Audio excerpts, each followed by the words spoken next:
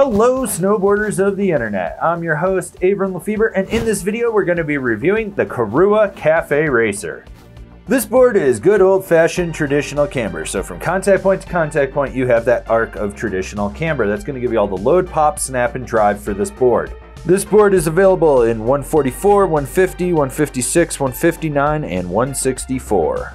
I rode this board at Arapahoe Base on a day that was mostly bluebird skies, low wind, you had chop, chunder, slush, ice, perfect hero snow, perfect corduroy, and I rode it with my Rome Black Label bindings and my K2 Thraxis boots. So this board actually felt a little softer than the last time I rode it, which not sure why, but just felt that way. As you can clearly see, it is a fully directional flex, meaning softer nose that progressively stiffens back up to the tail. The torsional flex is very moderate you get a lot of rebound out of it. This board is, for the most part, super stable. You get a little flap out in the nose and that'll slightly resonate underfoot, but by and large, this thing just cuts through everything in its path and does not buck you. As this is a full camber board, you have to load it up to get pop, and what you put in, you get out. It's got solid snap. This isn't a board you're gonna be boosting off everything, but when you absolutely need to pop, it's gonna be able to handle it. Yeah, I did not butter this thing at all. That's, that's not gonna happen in this.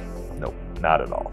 So let's talk about carving with this board because that's what it's truthfully designed for. The cool thing about it is you want to keep your weight outside the front foot and inside the rear foot. So basically you're throwing your weight a little bit more forward. When you do, you can drive this thing more aggressively. And when you really want to just lay it over, you're kicking your back knee into the center, pushing off the tail, and it'll lay over.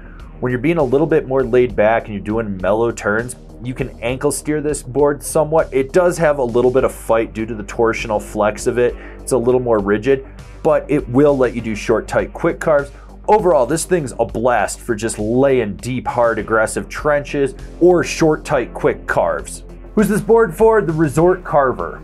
This board is a blast to just rip turns on. When you're ripping a hard carve and you're laying it over with minimal effort, you can change the direction of that carve this thing leaves trenches in its path. It's lively where it counts. It's damp where it needs to be.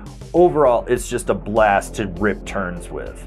Comparable boards, the Jones Freecarver 9000, the Libtech Steely D, the Ride Peace Seeker. Binding recommendations, the Nitro Phantom Plus, the Jones Apollo, the Bataleon Atom.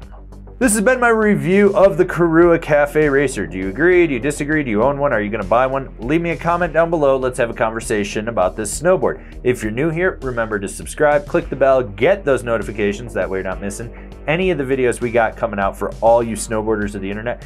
And if you really like what we're doing over here and you want to support us further, swing on over to Angry Snowboarder VIP and become a member. Sure, I could tell you more here, but I got a video over there that explains it so much better.